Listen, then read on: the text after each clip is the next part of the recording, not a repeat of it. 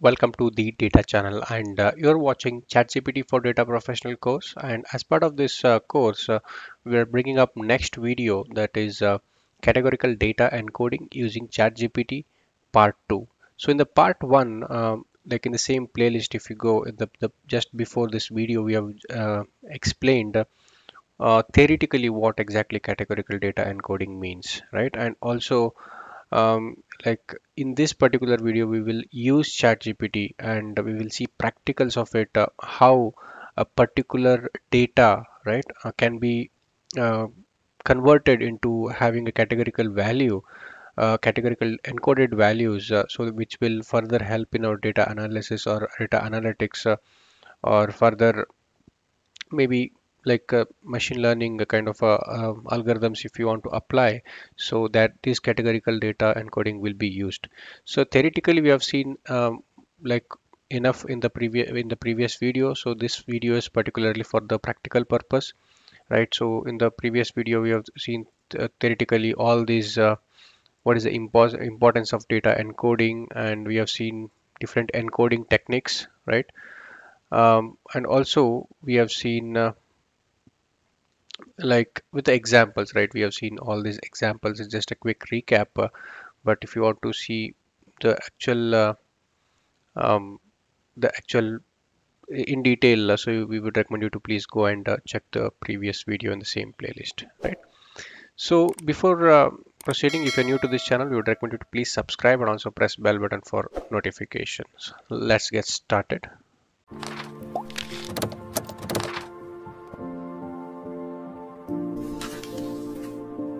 So now let's quickly jump to the chat GPT and uh, we will start uh, exploring the chat GPT um, as a chat GPT as a tool basically, right? Or as a um, as a as an analyst. Uh, so we will be using as a data scientist in this if you see. So we will be using chat GPT as a senior data scientist, right? So we are defining the role for chat GPT. So this is how you start prompting or start using chat GPT, right? So and you set an expectation or and you are setting a context here that um, the chat gpt role here is as a work uh, he needs to or he or she needs to work as a data scientist uh, with uh, so and so experience and uh, you're setting an expectation so that uh, so the reply or the the uh, the output that ChatGPT give, response the ChatGPT give should be equivalent to this expectation set right? So initially I've set the expectation. So then um, so it has acknowledged the expectation right? And then I start giving the column the sample header column with the sample data right? So this is a header so which is having a, this is a ID sex age like uh, federal district location that's the type of city uh, like all these details. Basically this is a election uh, campaign uh, data right? So it is a election related data so we will be getting here. And uh, based on this election uh, data that is uh, we got it from Kaggle so you can get it from any other uh, um, similar websites. So and uh, it's nothing that you have to use the same data set so you can use uh, try with the different data sets right? So this is the election data set which we got from Kaggle. And so we have given some 50 100 rows here sample rows. Based on that it was able to identify these are the columns um, which are categorical right? Um, based on the data set provided the columns that appear to be categorical. So these are the eligible columns according to ChatGPT and based on this data sample data that we have given. So it was able to identify that it has a categorical values right? So these uh, columns contain discrete values representing different uh, categories and groups. So that is how the categorical values means right? It should be having a discrete values. What is a categorical uh, what which columns are eligible for categorical um, um, encoding is which is having a discrete value which represent different categories or groups right? So then uh, I'll go one step further now to ask uh, right to give me the Python code itself uh, to actually um, read this data and perform uh, like uniquely identify the categorical data. So it has given some code here. So then after that uh, I'll say read the file from. Basically now let's jump to the VS Code setup that we have and we'll be able to identify. So we will be executing the exact same code that it is giving. And you can see it has taken some uh, it has converted the data into a dictionary the data that we have given as a dictionary with a key as a column key as a column name and values as some certain sample values it has taken. And you can see here right the unique values for sex is male and because of sample data it might be right it can be female as well others right? And unique value for will vote is these two unique candidates is these two per people and income is very high there can be other categorical values this is a sample data right?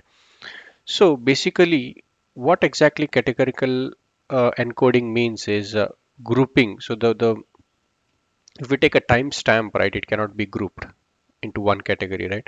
And if we take a salary it can be grouped it again depends but if the if the distribution is very huge so you, you can uh, choose the different type of distribution where it will be arranged uh, salary but here uh, if you see it is able to identify the like employment type. So work for hire unemployed employee student. So this is basically a what we call it as a categorical um, encoding. Uh, i mean the the columns that will be eligible for categorical encoding. So we have not started the encoding here right? So further I am asking to read the file from the local path, right? So it has given the local path here. So I can specify the local path and replacing the local path with your exactly file where you where your file exactly is present, right? And then uh, below is the output value of the code give. So I have executed this the same code in the VS code and uh, I have given the output of that, right? So based on this output, let us see what exactly happens, right? So this is my code again. I'll just replace this code. And I have the path. So I'll just give the path for it.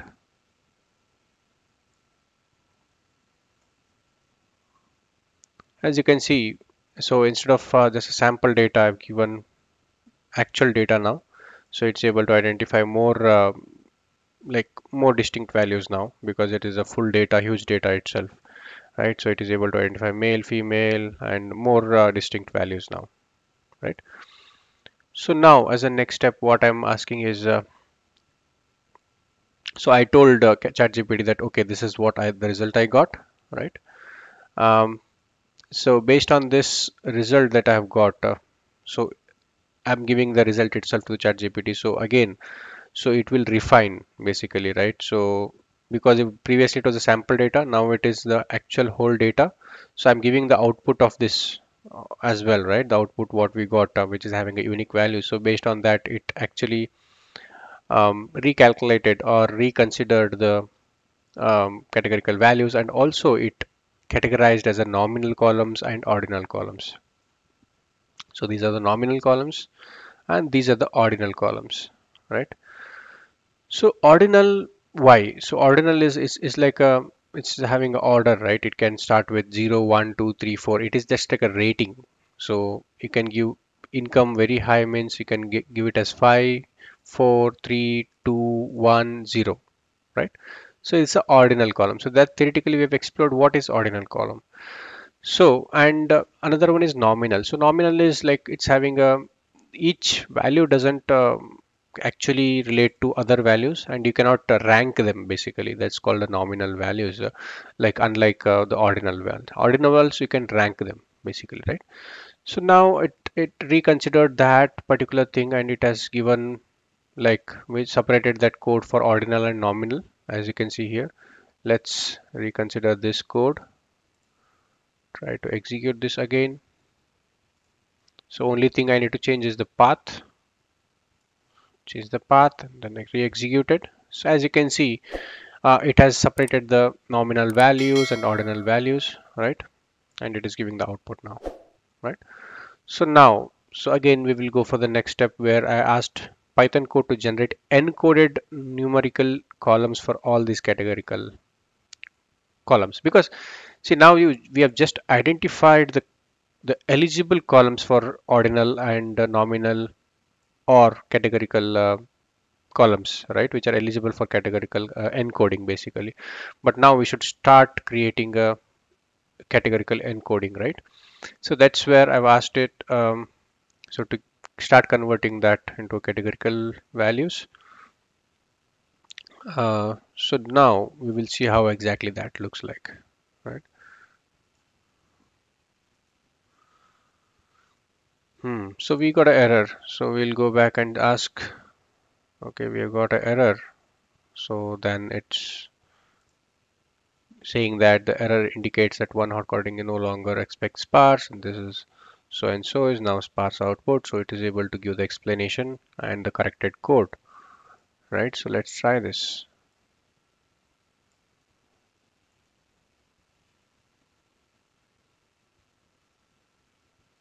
again we got an error. So again we go back to ChatGPT.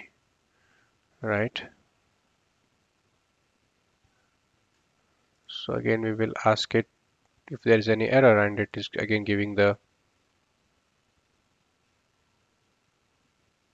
exact value.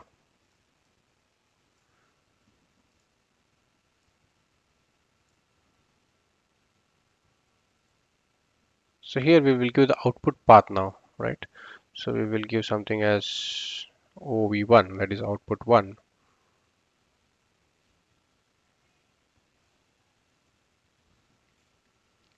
so now it is already kind of uh, executed and it has returned it to a final location.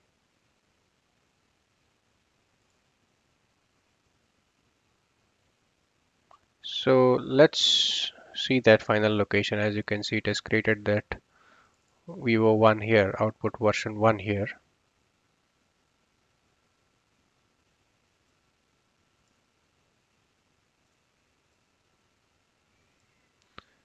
So as you can see uh, so it is not only just uh, created the I mean it just also used the co concept of uh, started the encoding actually if you see here right? So sex female 0 1 right? So 0 means it is not female 1 means it is female. So basically uh, instead of just using the column B it has created two separate columns for each categories like male and female. And it is using the numbers here instead of the actual values which were in strings right? So that way so if you see for all the categorical values it has done that right? So it's just a 0 and 1 combinations. And if there are like 10 different columns uh, different uh, different distinct values. So it will create distinct uh, uh, columns for each right? And uh, so it will start if it is one if it is one uh, if it is present if it is it is, then it will be one. If it is not then it will mark it as zero right? So by and if you see here right so it is just we started with few columns but now it is 96 columns right? So that is the um, that is a that is the expectation of uh, um, encoding like um, whatever we are doing categorical encoding to increase the number of columns which actually help in um, the data analysis. So not just increasing the columns but like those will be quantifiable uh, in terms of zeros and ones and in terms of numerical values so that when we perform the analysis uh, so it, that will be exactly helpful right? So now so this is about uh, mm, that and now again let's go to ChatGPT. So we will further we can fine tune and ask couple of questions right? Can we include age as well as a categorical column? So it has included age as well here right? So and there is an error we got. We gave that to ChatGPT. It has fixed it right? So then again error we got. So the same error uh, it was able to identify and kind of fix it and also gives the explanation of that error right? So what exactly you need to try and what like what are the different things you need to try and how do you revise your code right? Like and finally like we uh, are at the final uh, code where exactly this is our final copy of code. We will try to execute the final copy of code now uh, we're just replacing the the path here right and here also we will just replace the path. Okay. And uh, here we just mention now ov2 which is the output 2 right? So now it has executed and you can see how many columns one or three columns it has created uh, including the original columns uh, obviously. So I can just open 02 now which is just created right so as you can see here uh, there is columns for each of these right? Can go to the right and you can see. So this is called encoding actually. And uh, so this is just the pre-processing step of when before starting the analysis right? So we have not started the data analysis here. So we are preparing the data. And you can see here we have included age as a bind. So this is one one of the thing i wanted to highlight here right? So uh, what we did here is uh, instead of uh, so age was not included in the categorical value if you remember right? So we wanted to include age as a categorical encoding encoded column. So what we did is uh, we asked ChatGPT to include uh, age as a uh, binned column.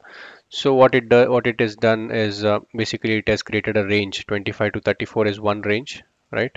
So as you can see 18 18 is between uh, so if you see bin age is 25 to 34 so if you see 67 so this is like this is a binned age so it is able to categorize it basically right? Right?